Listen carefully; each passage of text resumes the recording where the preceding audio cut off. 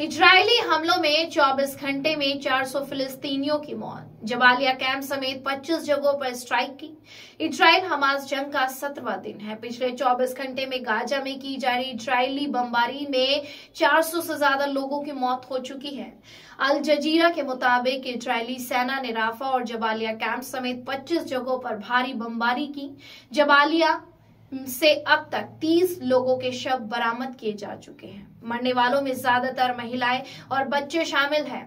इधर लेबनान की तरफ़ से लगातार हो रहे हमलों का जवाब दे रहे इजरायली सैनिकों से प्रधानमंत्री बेजामीन नेतन्याहू ने रविवार को मुलाकात की। उन्होंने सैनिकों से कहा कि जंग में शामिल होना हिजबुल्लाह की सबसे बड़ी गलती होगी। उन्होंने हिजबुल्लाह को चेतावनी भी देते हुए कहा कि लगातार हमले करने से या जंग शुरू करने से इजराइल ऐसी जवाबी कार्रवाई करेगा जो लेबनान में तबाही ला सकती है हमास के साथ जंग में शामिल होना हिजबुल्लाह की सबसे बड़ी गलती होगी। इसी बीच इजरायली सेना ने कहा कि इजराइल पर अब तक 7,400 रॉकेट से हमला हुआ है।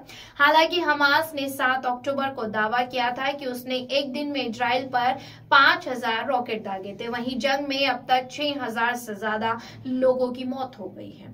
इजराइल से भारतीयों को रेस्क्यू करने के लिए भारत सरकार ऑपरेशन अजय भी चला रही है।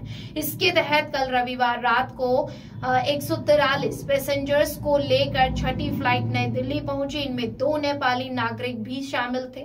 केंद्रीय राज्य मंत्री स्टील और ग्रामीण विकास फगनन सिंह कुलस्ते ने एयरपोर्ट पर इन पैसेंजर्स का स्वागत किया। अब तक 18 नेपाली नागरिकों समेत करीब 1200 पैसेंजर्स को इजराइल से भारत लाया जा चुका है। इजराइल हमास जंग के कारण दो लाख इजरायली नागरिकों को घर छोड़ना पड़ा। इन्हें गाजा और लेबनान बॉर्डर से हटाकर इजराइल में सुरक्षित जगह ले जाया गया है।